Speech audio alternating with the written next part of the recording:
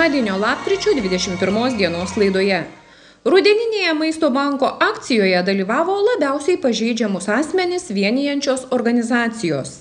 Daugiakultūrėme centre skambėjo kartu su grupe programą Aukštaitijos dangui pristačiusio Kazimiero Jakučio pagulbio dainos.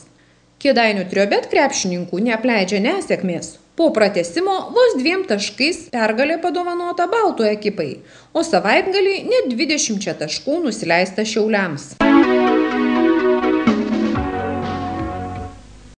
Maisto banko akcijos rengiamos jau devintus metus, tad projekte dalyvauja labiausiai pažeidžiamus asmenius vienijančios organizacijos.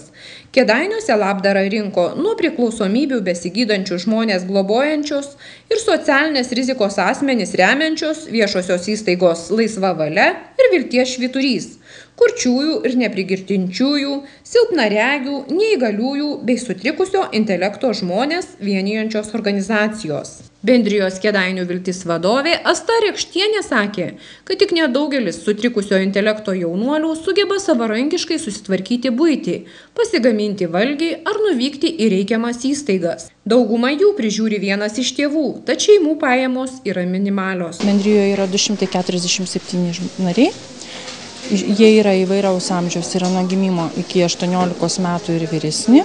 Tai tėvai dėl vaiko negalės visiškai negali dirbti, neturi nei kažkokių kitų pragyvenimo šaltinių.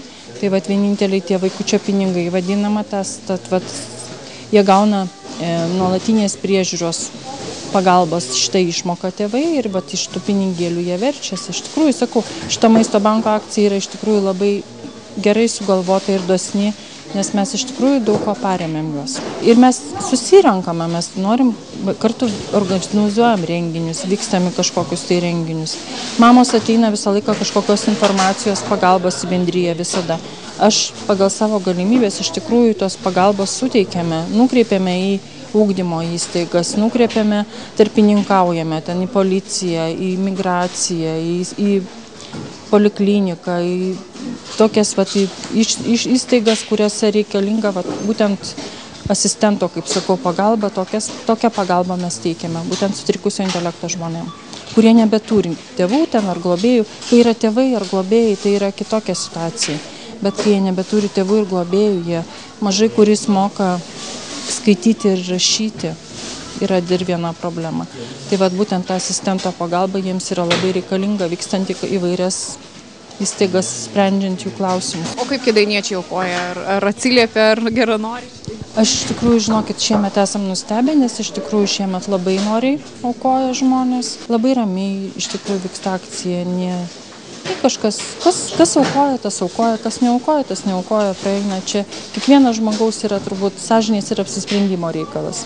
Ir noro reikalas turbūt. Lietuvos aklųjų ir silpnaregių sąjungos Kedainių skyriaus pirmininkė Lina Milickaitė minėjo, kad daugiau nei pusė šios bendruomenės narių sudaro lygoti vieniši senoliai, tad parama maisto produktais jiems yra labai reikalinga.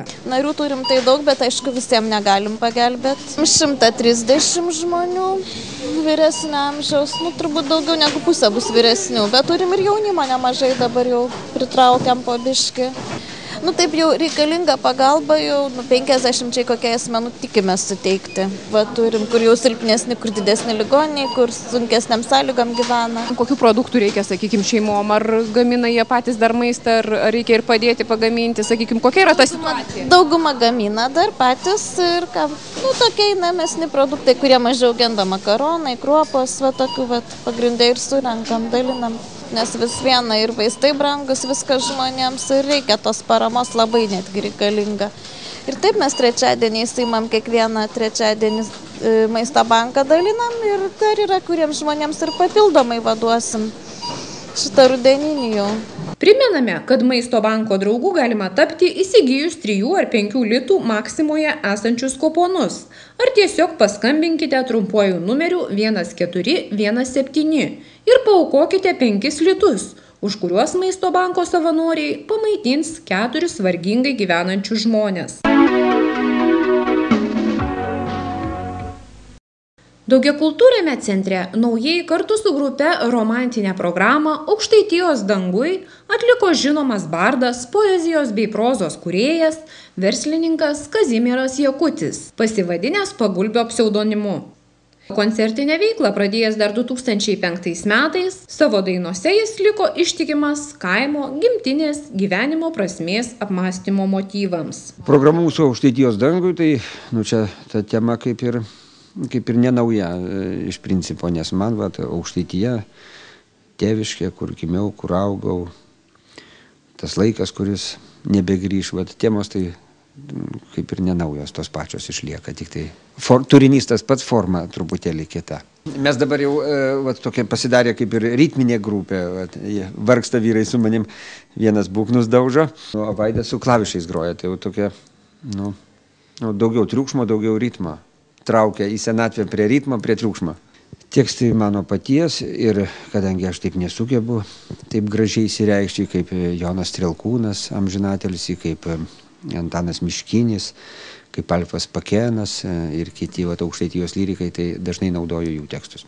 Ir dabar kažkaip dar toks, tokia tendencija e, senas e, įmų dainas, kažkada grodėjau kai vienas, tai, tai jos truputėlį turėjo vieną spalvą gal ir, ir vienai buvo, dabar kažkiek harmonizuoju senas ir, ir, ir, ir, ir va, jas šviežiai tada suskamba. Nu, norėčiau tik tai padėkoti visiems kėdainiškiam, kurie atėjo ir kurie dar kitus, į kitus koncertus mūsų ateis. Ačiū labai. Kazimiero Jakučio grupės nariai minėjo, jog bendras kūrybinis procesas yra geriausia laisvalaikio praleidimo forma. Tiesiog atsiboda vienam grot. Čia vat paklausiau YouTube tenai įrašus ir užkabino jei negaliu aš turėti tavęs, yra tokia daina. Kai iš tos nakties, čia kelių stilių mišinys gaunas. Kažkiek yra kantri, kažkiek tai. Dainuojama poezija. Ja, dainuojama poezija kažkiek tai. Prie širdies. Kitokia jo, muzika. jo. Sava muzika. Negu per radiją skamba ir panašiai. Paskutiniu metu iš vis tenai. Įmam ir grojam tiesiog. Nu, namie tai beveik pastovi improvizuoju tenai. Įdomu. Nu, susieškoja mus, šiaip jau susieškoja internetu. Renkasi grupė, jie vienas kitą ieškama. Ką darysi? Nostalgija visiems muzikai ateina anksčiau vėliau. Oi, kiek pamenu, tiek ir groju. Anksčiau ar vienokia, ar kitokia muzika, tai su pertraukom visokiam. Vieni draugai išeina, kiti grįžta. Atsiranda naujų. Nes vietinės tokios reikšmės roka grupė buvo ten tada. Tai susiveinam viena kompanija, kita, ten pavadinimas kaip ir reikšmės nelabai turinį. Jie keičiasi, vienas kitas ateina, išeina. Laisvalokio praleidimas ir tiek.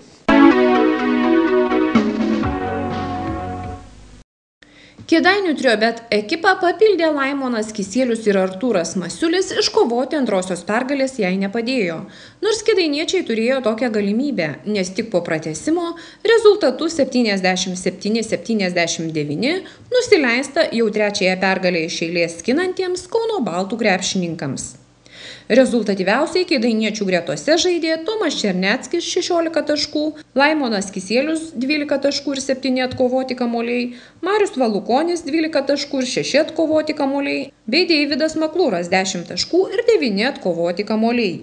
O vos 12 minučių aikštėje praleidęs Artūras Masiulis tenkinosi šešiais taškais ir vienu atkovotų kamoliu. Sunku vertinti, turėjo tik dvi treniruotės. Nu, procesas tik tai vyksta ir aišku, ir, ir metimai buvo, ir pas Laimono kisėlį, ir paruošti nepataikė, baudos nepataikė.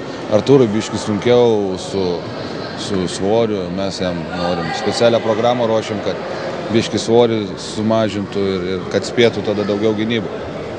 Biški daugiau galvos šaltos, šaltų, šaltų nervų. Širdis buvo karšta ir kovot kovojom, bet biški šalto proto gale to neturėjom mes bandom visais įmanomais būdais ir keisdami žaidėjus ir, ir su jais kalbėdami, bendraudami, mes bandom kažkokiu tai būdu tą, tą ugnį tokią atrasti. Aš nemanau, kad nebuvo ugnies. Jūs supraskite, prieš ką mes žaidžiam. Mes žaidžiam prieš Lietuvos ateitį. Visi žaidžia rinktinėse Lietuvos, skirtingo amžiaus grupių. Ir jeigu dar, tarkim, aš taip gal pasakysiu, ir Vidas, Vidas e, gavo kvailą tą techninę pražangą penktą. Ir natūralu, kad pritruko mums patyrusių žaidėjų. Ir, ir Trečias dalykas, tai jie visose amžiaus grupėse žaidžia kartu. Mes sulibdytą komandą iš nulių. nuo praeitų metų vienas žaidėjas likęs. Tai ir, ir, ir padaryti čia stebuklą ir komandą per mėnesį nežinau, kas gali. Baltijos krepšinio lygos elito diviziono rungtynėse su Šiaulių ekipa Kedainių triobet krepšininkai susirungė sekmadienį. Pirmąją rungtynių pusę kedainiečiai atkakliai priešinosi svečiams, tad besibaigiant antrajam kėliniui Šiaulių ekipos pranašumas tiesiekė vos 3 taškus. Rezultatas buvo 40-37. Tačiau tuo met svečiai spurtavo 12-1 ir taip pabėgo į priekį visam laikui. Taigi šiuose rungtynėse Šiaulių ekipa ne 20 taškų skirtumų rezultatu 85-65 nokautavo Kedainių triobet krepšininkus. Po šių rungtynių kėdainiečių vyriausiasis treneris Gediminas Petrauskas akcentavo psichologinę žaidėjų būseną, tragišką baudų pataikymą bei visą komandos nuvargį po neseniai vykusių rungtynių. Nuleido rankas. Ketvirtam kėlinį jau gale ypač pritruko jėgų. Šiauliai palsėja, prieš savaitę žaidė mes už vakar. Tai vakar tokia buvo diena, kad vis tiek tu nori, nenori, turi ruoštis tom rungtynėm ir tos derinių šiaulių žiūrėti ir taip toliau. O O, o, o jie savo labai nu, graž, gražų laiką turėjo tam pasiruošti, mes neturėjom, bet aš nenurašau, kad, kad tai buvo kažkoks nuovargis. Žaidėm tris, tris kėlinius, jeigu šimtus kai kurios tarpus, tikrai neblogai ir metėm jiem tą kovą. Ten tas dešimt taškų šio laikiniam krepšinė nėra daug, o paskutinio minutėm natūralu, galutinai palūžom ir neturėjom jokių priešnodžių. Ir vėlgi tas psichologija žaidėjų meta tą baudą nepataiko, nu, natūralu, kad jie, jiem, jiem jiem kuo toliau, tuo sunkiau bus mestas baudas. Ir nežinau, kažką tai vėl reikia daryti. Jau vienu momentu buvo pagerėjimas. Ir per treniruotės tikrai neblogai pataiko rungtinių metu. 16 pramestų baudų. Jeigu mes nemetam net 50 procentų baudų, nu, tai apie kokią pergalę galim šnekėti. Prieš ką ir, ir nežinau. Ateityje irgi. Prieš bet ką žaidžiant mesti tiek, tiek tokių procentų baudas bus žiauriai sunku.